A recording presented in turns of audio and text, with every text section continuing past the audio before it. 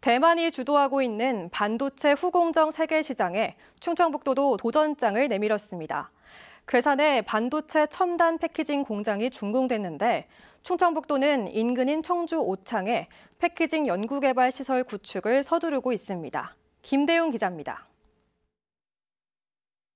축구장 25개 크기에 달하는 넓은 대지에 반도체 패키징 공장이 들어섰습니다.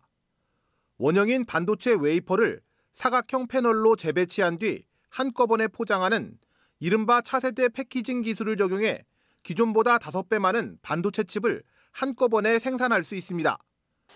대만이 주도하고 있는 반도체 첨단 패키징 산업에 국내 중소기업이 도전장을 낸 겁니다.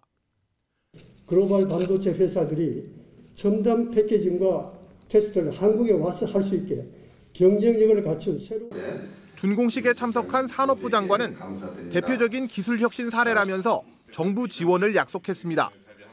첨단 패키징 플랫폼 구축, 을 위해 인프라, R&D, 생태계 강화 지원이 담긴 대규모 일타 사업을 올해 추, 추진하겠습니다.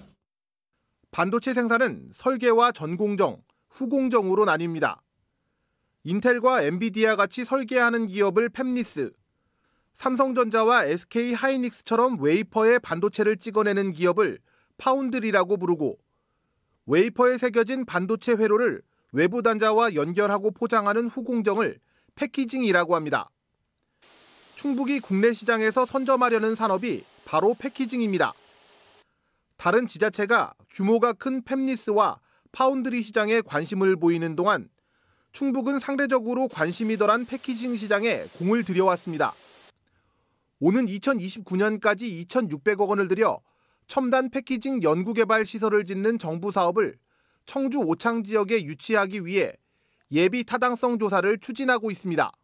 정부의 K 반도체 전략과 연계한 중부권 반도체 후공정 거점 조성을 통해서 충북이 후공정 산업의 메카로 자리매김할 수 있도록 대만이 주도하면서 국내에서는 크게 주목받지 못했던 반도체 후공정 산업.